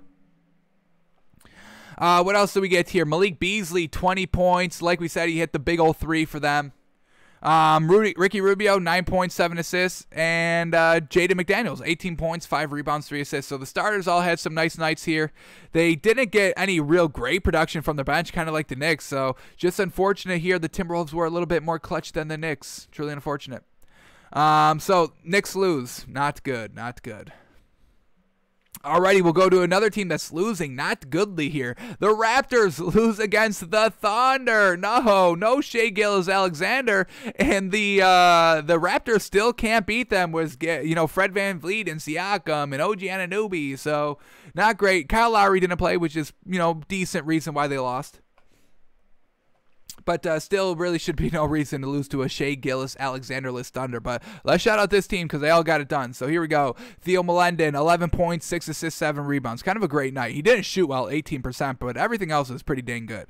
Uh, Savi, my, my, we're just calling him Savi Mick, man. I know eh, it's my apologies for not pronouncing that last name, but um, yeah, that's a tough one. Uh, but here we go 22 points, 9 rebounds for Savi. Absolutely magnificent. Moses Brown, 20 points, 12 rebounds. Isaiah Roby, 17 points, 10 rebounds. Kenrich Williams, 10 points, 8 rebounds. They were getting it done on the glass. Holy cow. Raptors, man, get it done on the rebounding category. What are we doing? The, the Raptors had 35 rebounds. The Thunder had 64. Oh my gosh. Man. Man. Man. Holy cow. All right. So the Thunder team, I mean, definitely well everybody stepped up here, so I'm absolutely about it. No Dort, no um no Shai Gilgeous-Alexander, and they all step up here. Everybody in 10 points plus, and literally everybody in 5 plus, plus, seven, six, seven plus rebounds here in the starting lineup. This is absolutely magnificent here by the Thunder. Man, oh man, do they have a secretly good squad? Man, they step it up. I got to give it to them. Uh, uh, we're about to. Uh, what? Where are they in the record? They got a chance to make the playoffs. Because I think I'm about to get on this Thunder train, folks. Damn, currently 13 in the West. Uh, they're only two games out from that uh, 10th seed to get into the playing tournament. Two, three games back. So let's see what they can do. But if Shai Gilgeous-Alexander can kind of, you know, be a little bit healthy, a little bit more consistent here, um, I think this is a solid team. People are stepping up. Love it. They also get people stepping up off this bench here.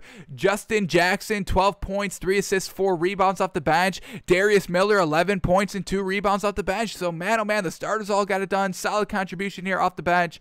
Absolutely killed it on the glass. And the Thunder get the win. So, Raptors, man, He's Pascal Siakam, Aron Baynes, OG Anunoby, and you still can't out rebound this Thunder team? Mm, not good. The Magic, I'm ready to call it. The Magic has officially run out for this Raptors team. The Cinderella story over the last three seasons with Nick Nurse and all these role players.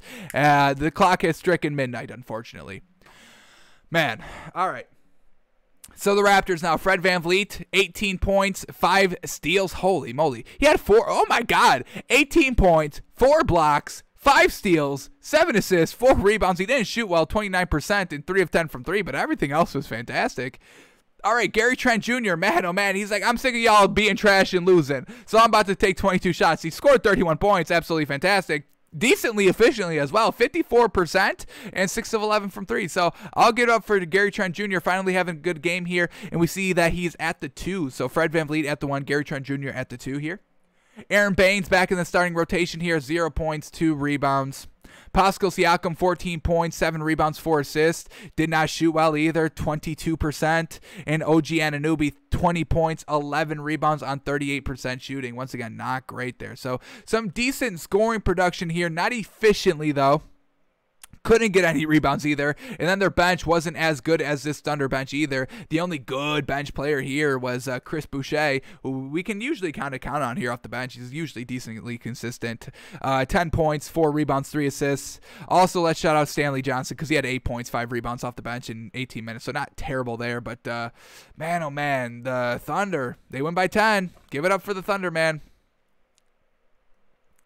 Alrighty, let's uh, keep moving on here. Last couple of games here. Kings and the Spurs. Spurs win 120 106. We chose to stay away from this game just because this was in a second in a back to back, and we know it's a little wonky. It never goes kind of the same way that game number one went, so we always stay kind of away from those.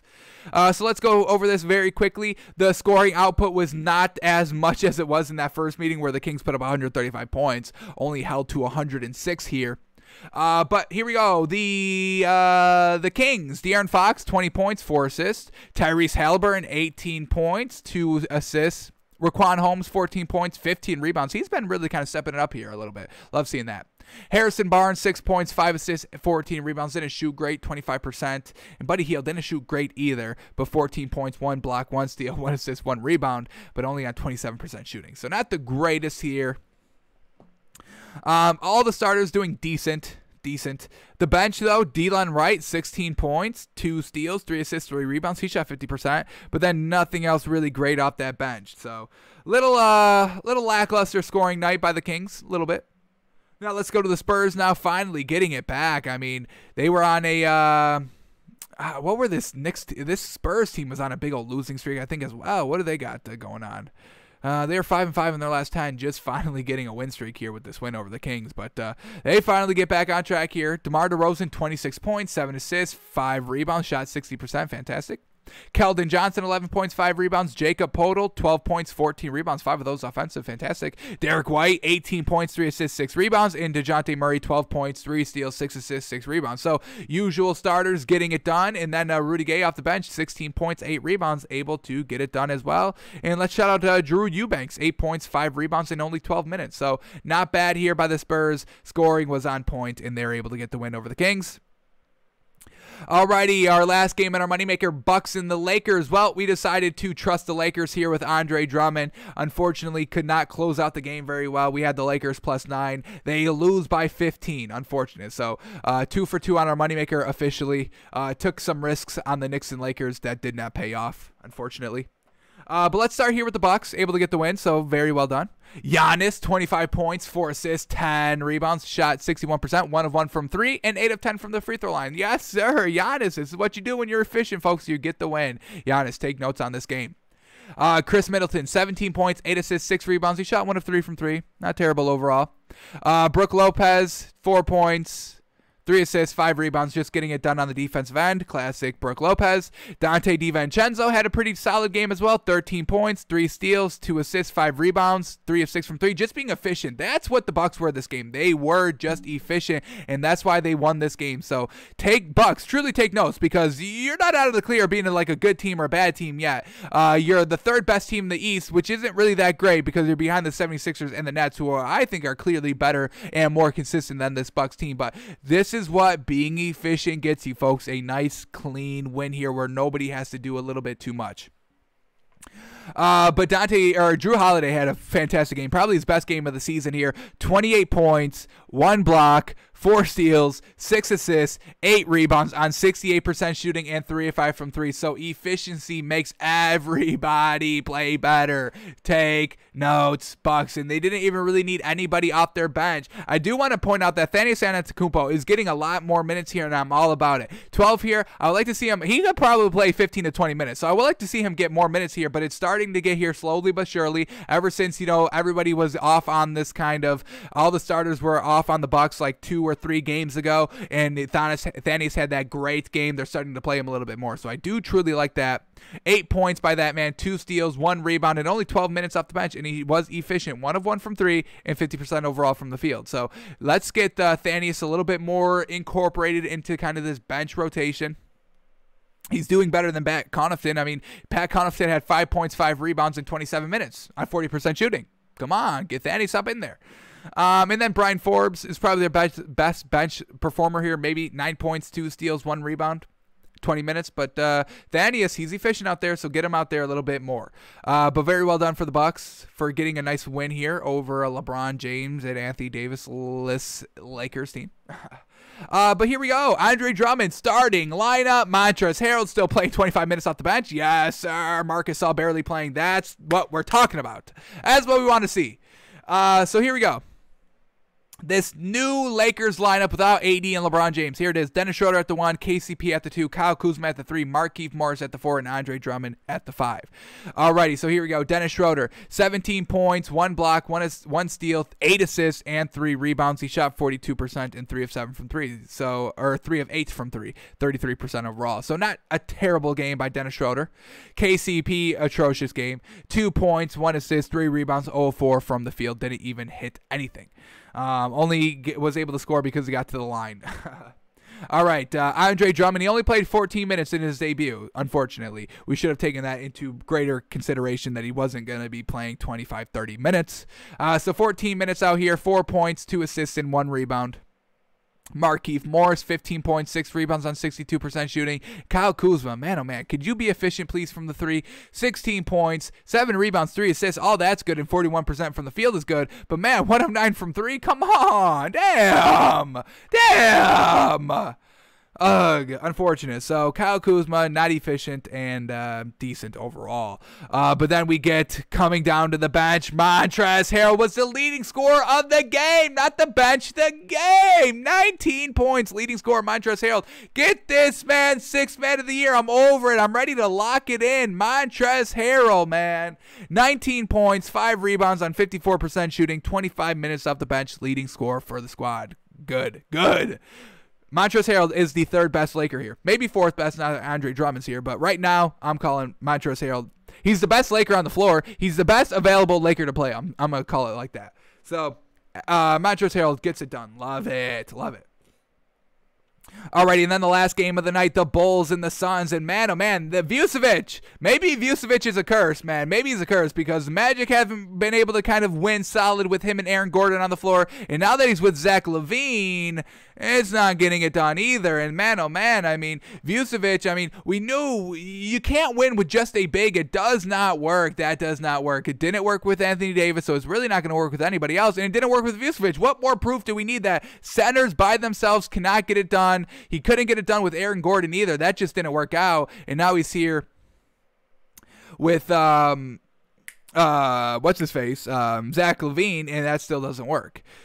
Alrighty, so let's start here with the Bulls. Zach LaVine didn't even play this game, so a little unfortunate there. Once again, I mean, now that Vucevic is here, Zach LaVine's taking time off. That gives me kind of flashbacks to when he was with the Magic of Aaron Gordon not playing with him in the lineup. So I don't know, man. Vucevic may be a little bit of a, a, little bit of a curse. He's good. He's great. Don't get us wrong, but him winning with other players, it does not work. Him on the floor does not contribute to, to solid wins. So that's a little bit of a red flag. Bulls are now 0 3 with Vucevic on the floor. Alrighty, so let's start here with the Suns since they won. Um, Chris Paul, 19 points, 14 assists. Yes, sir, gets it done. Uh, Devin Booker, 45 big, all points efficiently, 70% shooting, 2 of 5 from 3. Uh, fantastic night by Devin Booker. DeAndre Ayton still gets it done, 10 points, 4 rebounds. Jae Crowder, 10 points, 3 rebounds. Mikal Bridges, 6 points, 2 rebounds. So everybody else was still able to score in the starting rotation. And look at this bench, man. Yes, sir, Cameron Payne, 9 points, 4 assists, 4 rebounds. Cameron Johnson, 2 points, 2 two assists, two rebounds, and Dario Saric, 16 points, five rebounds. So, yes, sir, all the bench, good pieces, kind of got it done here. Torrey Craig played 15 minutes, didn't get a point. Uh, but hey, all the others, all the other bench performers got it done. So we'll uh, give that man a little bit of a pass there. Alrighty, now let's go to the Bulls now. Alrighty, as we said, no Zach LaVine. So now the starting lineup is Tomas Satoransky at the one, Patrick Williams at the two, Thaddeus Young back in the starting lineup at the three, Lauri Markkanen at the four, and Vucevic at the five. So it didn't do too bad either. I mean, look at this. Thaddeus Young at the three, 19 points, 10 rebounds on 50% shooting. Lauri Markkanen, uh, 16 points, 10 rebounds on 38% shooting, two of eight from three, not the greatest. Vucevic, 24 points, 10 rebounds on 44% shooting. Patrick Williams, 16 points, one assist, one steal, three rebounds. Tomas Satoransky, nine points, seven assists, three rebounds. So the the starters all had a pretty decent night there. Uh, definitely missing Zach LaVine a little bit. We see Daniel Theis playing some hefty minutes off the bench, six points, five rebounds in 19 minutes. Not terrible. Um, and then Denzel Valentine off the bench. Great night by him. 19 points, four assists, five rebounds, three of nine from three, 44% overall. Just unfortunately, Suns were a little bit clutch down the stretch. Devin Booker's hitting some nice clutch shots when the Bulls were trying to yo-yo between like a two and three point game, three uh, possession game, and uh, the nice clutchness by. Uh, Devin Booker was helping him out a little bit there. So just unfortunate here by the Bulls, running into a nice star-studded, great Phoenix team, but uh, man, oh man, they got to start getting their first win without with Vucevic because they're um, they're kind of they're still ninth in the East, I guess. Still got time to get it all to work, but they need to make it to work because I want to see this Bulls team in the playing tournament. I kind of want to see them in the playoffs and see what they could do, but uh, got to get there first. Alrighty, uh, those are all the games from last night. Now let's um, do our moneymaker for today's action. Let's see if we're getting any great value anywhere. But first, let's see what's on tap tonight. Any uh, nationally televised games? Yes, sir. All right, here we go. Wizards, Pistons, probably definitely stay away from that game in our moneymaker. 76ers, Cavs, I think we're swallowing a lot of points with the 76ers. Uh, Hornets, Nets on TNT 730. That should be interesting. If we're getting eight points with the Hornets, we may take that. We may. We may. We'll see what we get.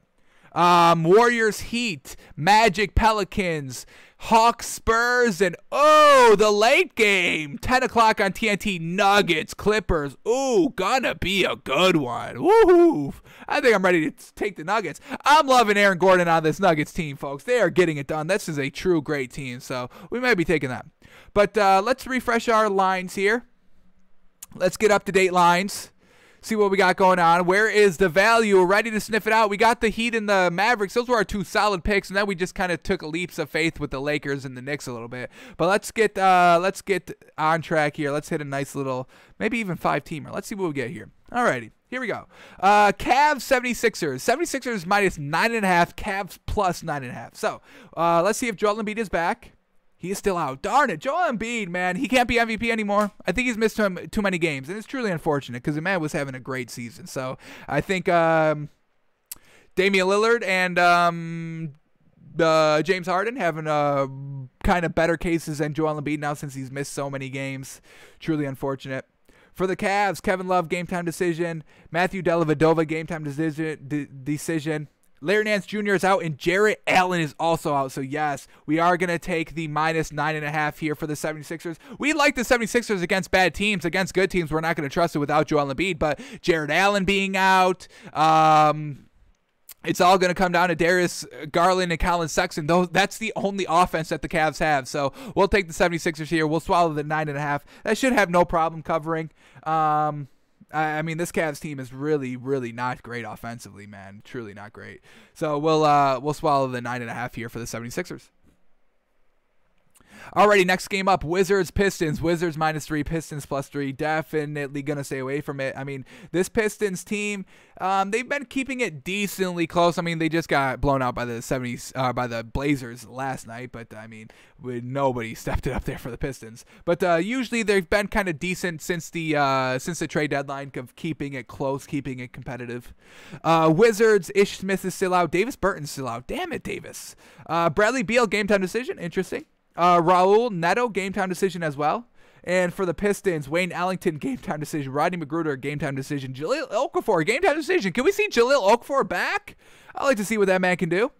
Um, and that's really it. So we're gonna stay away from this one. Can't trust the Wizards. Definitely can't trust this Pistons. But uh, I'm a, I'm uh, I'm I'm bow Jahlil Okafor being a game time decision. Now you know he's not definite out yet. So uh, we'll see what the Pistons do tonight. But we'll stay away from it. Ugh, I thought we could get some good value here, but it's not. But I think it's good the other way. So uh, let's talk about it. Here we go. Hornets plus two and a half. Nets minus two and a half. If everybody's gonna go for this Nets team, we're taking. We'll swallow the two and a half. I like this Hornets team. Don't get us wrong, but this Nets team, they they win. They win the games. If we only have to swallow two and a half here, that's magnifico value. We'll take it. Uh, but everybody's got to be good to go. So here we go. Malik Monk is a game time decision for the Hornets for the Nets. Blake Griffin's out. Damn, resting Blake. Come on, rest, rest. You played like four games. You need more rest. Man, Duncan really takes too much out of Blake Griffin. Kevin Durant is out. Oh, this is a big one. We can't take it. James Harden is out, so it's only going to be Kyrie. I think he may get it done, but I'm not going to bet on just Kyrie. So we'll stay away from this one. If it was just James Harden, I'd take the minus two and a half. It's just Kyrie, though, so I'll stay away from it. Alrighty. Continuing on, Warriors in the Heat. Warriors plus three, Heat minus three.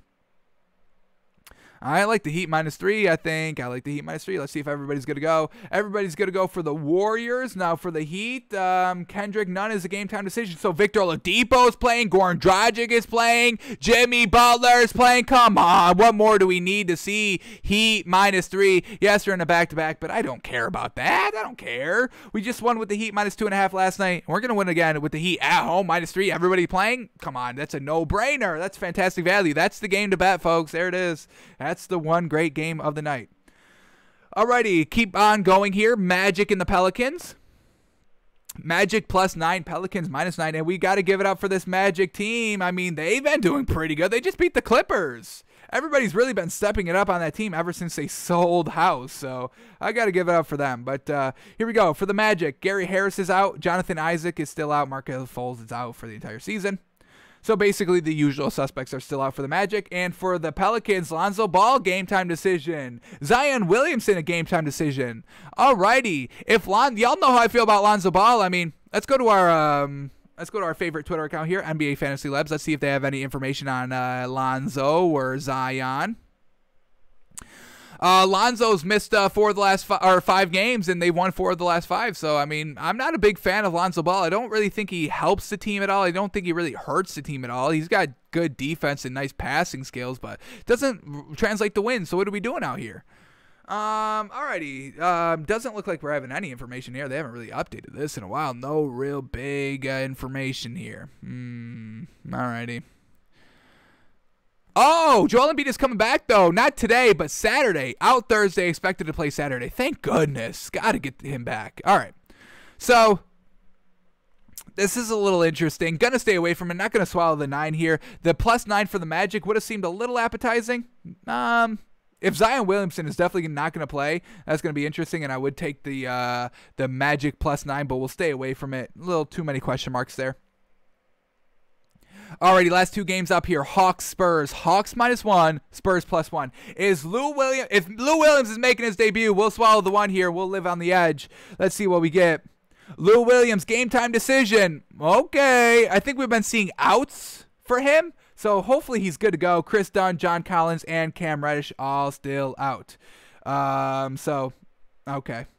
All right, for the Spurs here.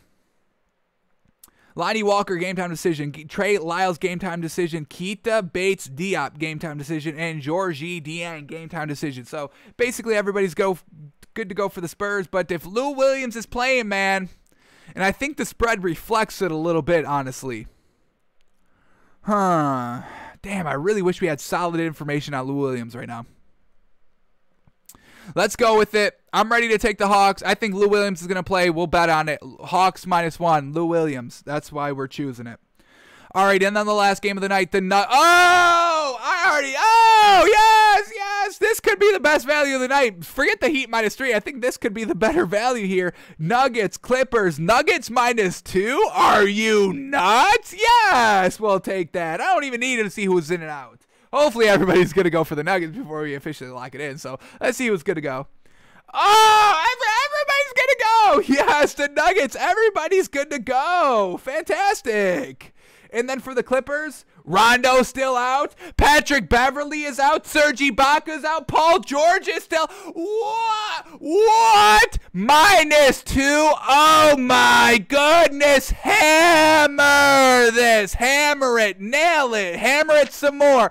Bet your house on it. Yes. We only have to swallow two points. What are you nuts? Yes. I'll, I'd swallow nine. I would swallow nine points here. Nuggets get the win. No problem. Um, Aaron Aaron Gordon is filling in great here, and everybody else is still getting great production. Michael Porter Jr. has not taken a step back, though I thought he would with Aaron Gordon in the lineup. Um, Jamal Murray is still getting it done. Jokic is still having success. Literally, Aaron Gordon is not disrupting this offense at all. He's just he's just making it better. He's literally the only trade at the trade deadline that has kind of fledged out hundred percent so far. So yes, sir. Nuggets minus two. Best bet of the night. Best bet of the night. There it is. Alrighty, yes, sir. Feeling great about this moneymaker here. 76ers minus nine and a half, Heat minus three, Hawks minus one, Nuggets the best bet of the freaking night, probably of the week so far. Nuggets minus two. Love that all day. Damn. Love that. Oof. Alrighty. Alrighty, that's our moneymaker for today. Alrighty, let's go to Michael Carter. All right, here we go. Our draft prospect of the day. We are on our 48, or we're on our 73 day countdown. We are on day 48 of that NFL draft countdown, looking at a NFL draft prospect every single day, getting us ready for that NFL draft. Who should our teams be taking? Who should our teams be staying away from? Who should we maybe be betting on? Who should we maybe kind of overreach and extend to get just so we can secure him on our team? Um, so here we go. We're looking at Michael Carter, running back from North Carolina today. We'll look at the stats, we'll look at some film, and see how this man's looking to decide if he should be a, a part of our organization. Should he? Should we? Should we be buying his man? This man's jersey? Should be? Should we? Let's see. All right, so here we go. Uh, four seasons at North Carolina. Once again, college educated. Yes, sir. Alrighty, freshman year 2017. He only had uh, 97 attempts for 559 yards, eight touchdowns. Alrighty, got into the uh, receiving game a little bit as well. 11 catches for 100 yards and a touchdown. Okay.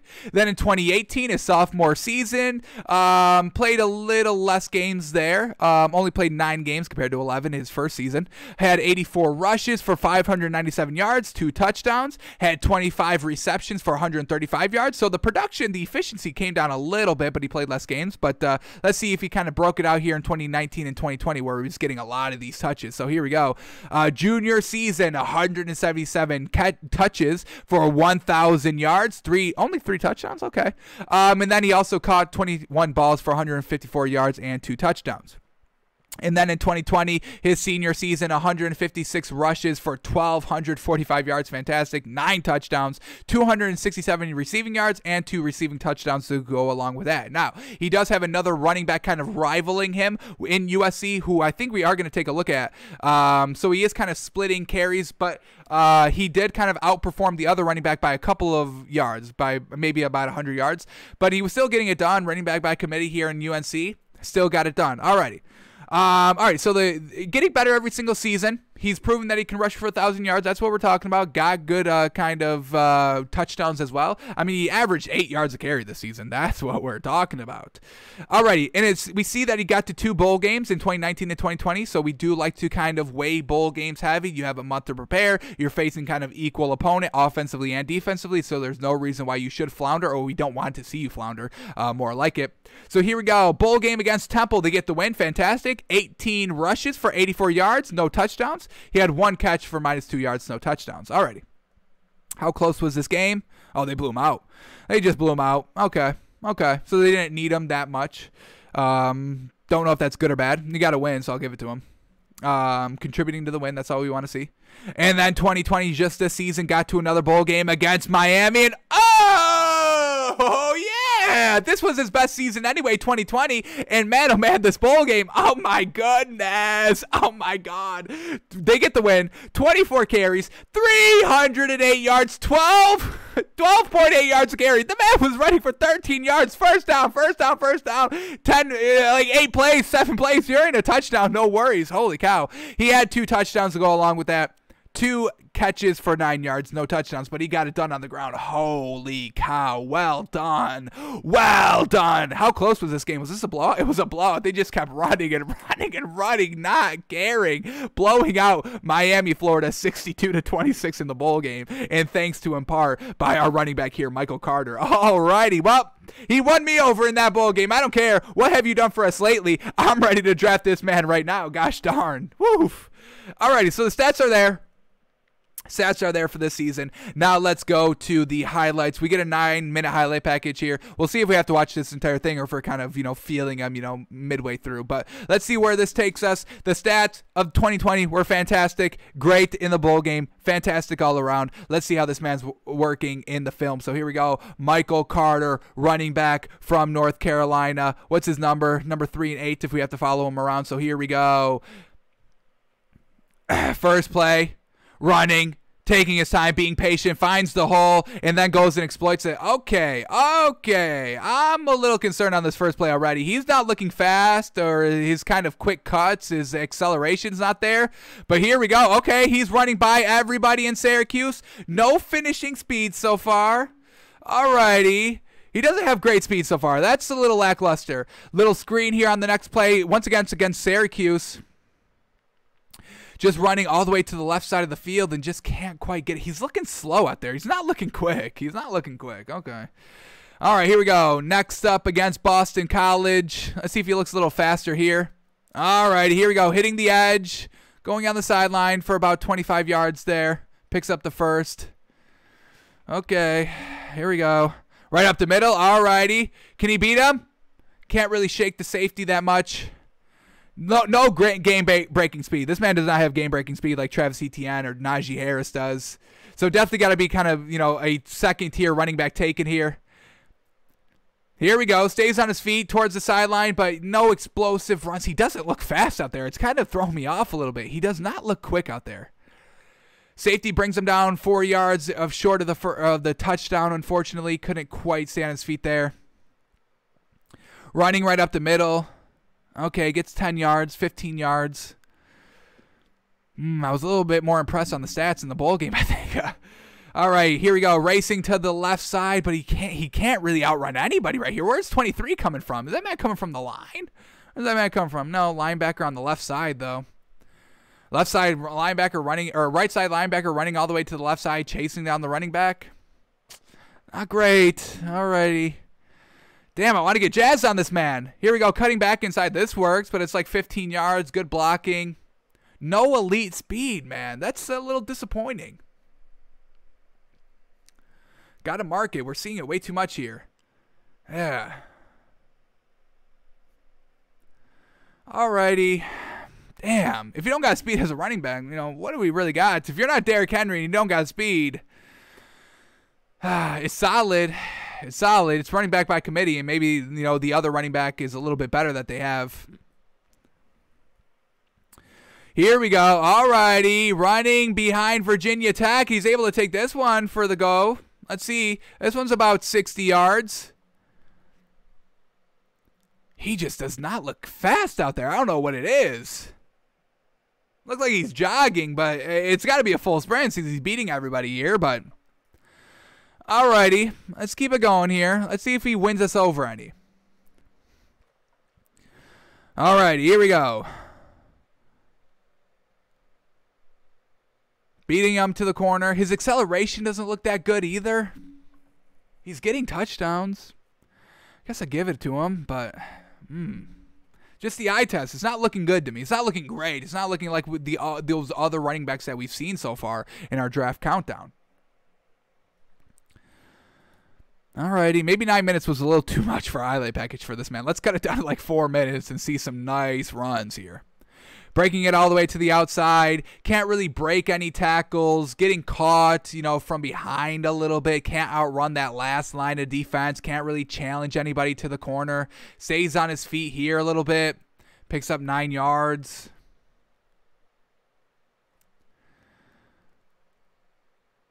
Gonna catch this one. All right, let's see what he's doing in the passing game. Here we go. A nice little wheel route. He's able to get behind the defense here. All righty. So he's looking a little bit. Why does he look way faster without the ball? Man, oh man, he was flying here on this route. All righty. All righty. Maybe we can use this man, you know, uh, catching the ball out of the backfield a little bit more. Back to running the ball here. Nice little hit that he stayed on his feet for. I'm about it. All right, running all the way back to the right side here once again, just can't kind of squeeze in and out of these kind of qu- these tight tackle situations and break off. Like we've seen this. Like I, I'm not speaking out of my gourd here. Like we've seen other running backs do it, so that's why we're comparing that all to this man. So definitely can't be the number one running back taken. Uh, so we got to squash those dreams right there. Definitely wouldn't even say this man goes in the first round. Honestly, I don't know if this is a first round pick. I mean, we know running backs, you know, aren't supposed to be taken in the first round, which is stupid. Go and get the player that you want. Get the best player. Don't care care running back position. I do not care. Uh, but classic rules, I, I wouldn't expect this man to get taken in the first round.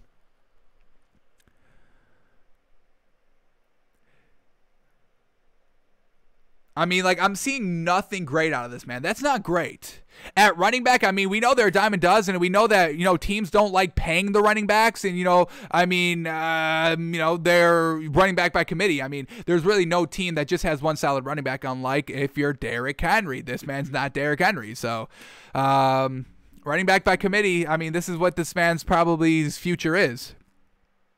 Travis Etienne, Najee Harris, they could be, you know, single running backs. I think they can kind of do what Derrick Henry does. Travis Etienne has the sheer speed, and Najee Harris has the size and the speed and the catchability all mixed into one. Here we go. Nice on the, you know, nice little 10 yard run. Great blocking. Definitely helps them. Doesn't need to be too fast down here in the red zone in the goal to go situations.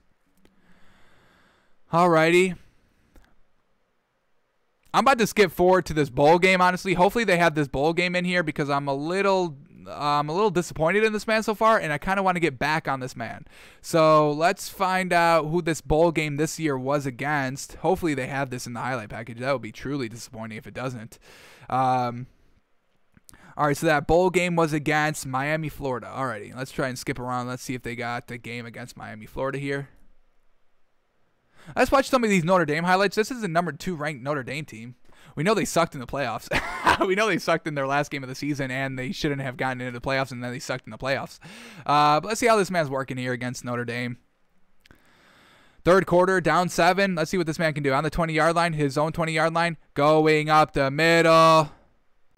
Yeah, it's no, it's no real great shiftability, no great speed. It's solid. It's all solid work out here. We're not trying to put this man down too much, but Nothing elite from this man. I'm not seeing anything elite from this man. All right, here we go against Florida. Here we go. We're getting some highlights here. All righty. All righty. All righty. This is the big one. This is the game where he destroyed it. Let's make sure this is the first meeting, too. I hope, I hope they didn't play twice, right? They did not play twice. All right. All righty. This should be the game right here. All righty. Let's see what this man can do here against Florida. The best game he's ever had.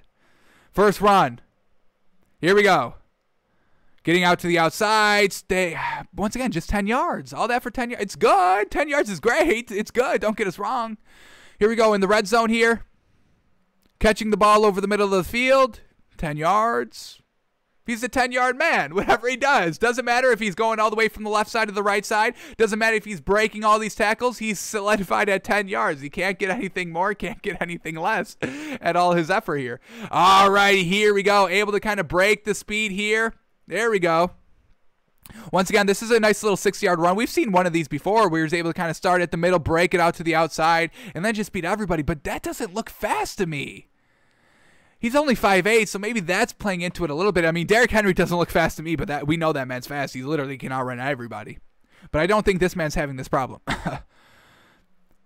Alrighty, here we go. Shiftiness a little bit. Once again, 10 yards, 10 yards. He's the 10 yard king, folks. If you need 10 yards, you go to this man. Here we go. Um, all right, once again, a little shiftiness. he's able to beat all the defenders. These are bad defenders here. If you're gonna think about drafting a defender from Miami, Florida, no, no, no, no, no, no, do not do that. They're trash. They can't even bring down Michael Carter here. Alrighty, what else do we get? Just absolutely destroying Miami here. Alrighty, here we go up the middle.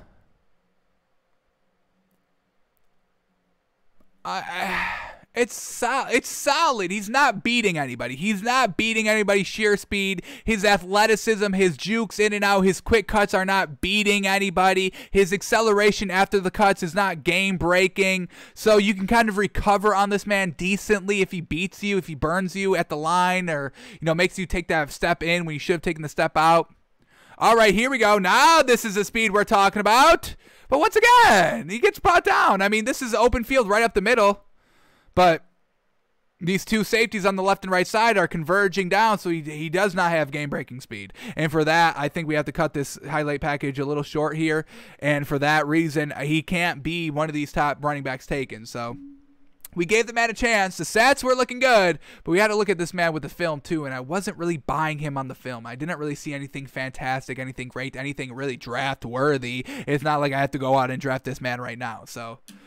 Alrighty, we haven't really been disappointed too many times in our draft prospect countdown, but I'm a little disappointed. Thought we were gonna get something better. So ugh, it's not great if you're not impressing me. I'll say that. Um, alrighty, Michael Carter, that's him. Five eight running back. Solid. Solid. Number two running back, I would say. Alrighty. Uh, that's gonna do it for us today thanks for tuning in. Thanks for listening. Let's see if anything has broken since we've been live. Anything going on here? Anything going on here? Let's see. Hey, Ryan Tannehill getting in on the Derrick Henry workout. I love it. And look at this man struggling, man. I know, you know, Derrick Henry's an absolute freak of an athlete. I mean, this is what I would be doing as well. Oh, she's bringing the chain. Yo, I love this. Yeah, I love this. Uh, Dare, uh, Ryan Tannehill's wife, because we saw Derrick Henry have chains on his neck. She goes and gets kind of a chain purse and puts it around his neck. Oh, I love it. Ryan Tannehill, man what a good dude. What a good dude. I, I, I'm a little upset it didn't work out for him in Miami, but what a great guy right here. And look at this. Like his arms, he's shaking. Derrick Henry shook zero on those push ups that we just saw. The man's a beast, folks. Come on. That's fantastic, though. I love this. I love this video. we'll talk about that more probably tomorrow on the show. Um. Oh, what did we forget to do today? What did we forget to do today, folks? We got to check in on Michael Strahan. How's those chompers looking? Michael, does he even have it's he's got Twitter, right? Michael Strahan. All right, here we go. What do we get? He hasn't posted anything about the tooth. We still got a couple hours we still got a couple hours left to call bogus on it. But um, it's a it's it's 147 here Eastern. Our camera just died, unfortunately. That's how you know we're going a little bit too late. Um, alrighty, so we're gonna be back tomorrow. I think we survived. Um, I think we have survived April Fool's Day. We did not get got. I don't think at all today. Alrighty, so we'll have um, we'll we'll know tomorrow if those chompers of uh, Michael Strahan are legit or not. But we haven't seen anything yet, and I think I think we would have seen something in the morning, don't you think? Interesting. Maybe he's right. Maybe he really did it. Respect if he really did it. Alrighty, we're out of here today. Thanks for tuning in. Thanks for watching. We're back tomorrow live, noon Eastern. We're out.